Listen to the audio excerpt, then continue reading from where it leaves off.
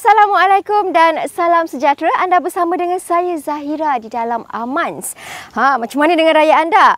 Okey, jom kita lihat apakah berita yang menarik di dalam dan luar negara sepanjang minggu pertama Ogos 2014.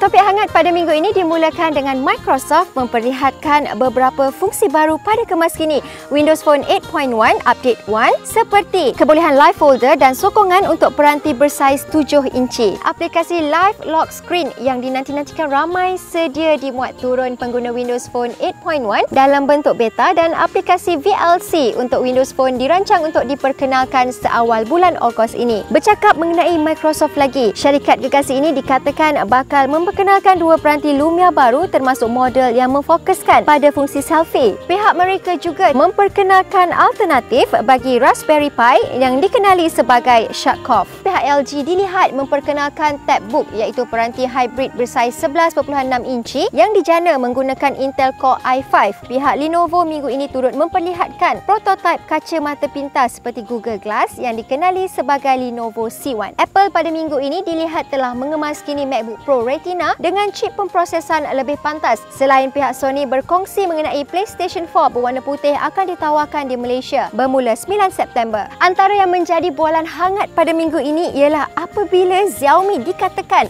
telah memuat naik data pengguna tanpa kebenaran dan perkara ini telah dinafikan oleh Hugo Barra selaku pegawai eksekutif Xiaomi.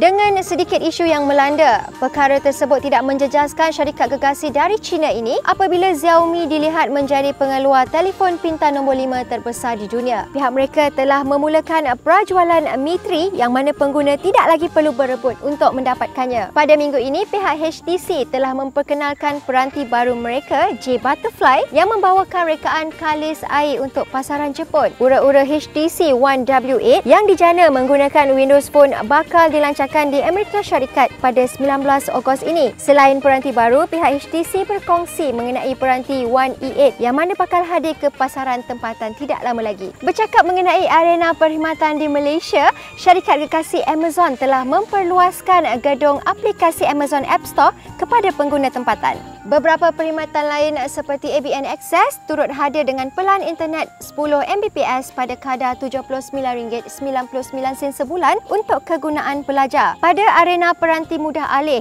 peranti Oppo N1 Mini telah mula dijual di Malaysia pada harga RM1,398 dan harga Samsung Galaxy Grand 2 dikemas kini kepada RM999. Selain mana, ia turut ditawarkan dalam warna emas. Kemas kini Lumia Cyan telah diperkenalkan kepada pengguna Lumia 1320 dan Lumia 1520 di Malaysia. Pada arena aplikasi komputer, Chrome 64-bit telah hadir untuk pengguna Windows dalam bentuk beta dan aplikasi LibreOffice 4.3 kini didatangkan dengan sokongan format yang lebih meluas. Aplikasi pemetaan Maps untuk Windows 8.1 kini boleh dimuat turun oleh semua negara selain aplikasi pengecaman lagu Shazam hadir untuk pengguna Mac OS X. Pemain media setempat XBMC telah dijenamakan semula kepada nama Kodi. Pada arena aplikasi mudah alih, Instagram telah memperkenalkan aplikasi pemesejan video dan gambar yang dikenali sebagai Bolt. Salah satu launcher untuk Android, Google Now Launcher, kini sedia dimuat turun oleh pengguna Android 4.1 dan tidak lagi terhad pada Android 4.4 seperti sebelum ini. Selain aplikasi Android, aplikasi BBM Beta kini boleh dimuat turun oleh semua pengguna Windows Phone. Selain aplikasi Indiegogo telah diperkenalkan untuk iPhone. Syarikat di sebalik WordPress Automatic telah hadir dengan aplikasi selfie untuk Android. Pada minggu ini, WeChat turut memperkenalkan fungsi recall yang membolehkan pengguna menarik kembali mesej yang dihantar dalam masa 2 minit. Selain WeChat, pihak Facebook kini dilihat telah membuang fungsi chat pada aplikasi utama mereka selain berkongsi ingin menawarkan kemas kini untuk aplikasi iOS setiap 4 minggu sekali. Sebelum melabuhkan tirai mingguan aman seminggu ini, permainan yang pernah menjadi bualan hangat awal tahun lalu, Flap Flappy Bird kini kembali dengan sokongan multiplayer namun hanya ditawarkan khusus untuk peranti Amazon sahaja buat masa kini. Jadi itu adalah rangkuman secara ringkas daripada kami di Amans untuk minggu ini. Jumpa lagi pada minggu hadapan.